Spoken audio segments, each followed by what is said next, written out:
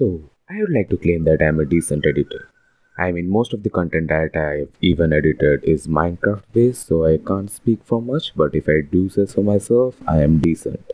And here is why. First, I can make a video shake and add green screen effects. Second, I can add subtitles to your videos and add effects too. And you know what more I can do? I can keyframe and add sound effects. I can also add cool music and remove them too. And if you aspire for something more, I can just. I can also ask people to like and subscribe the video. And last but not the least, I can make an outro.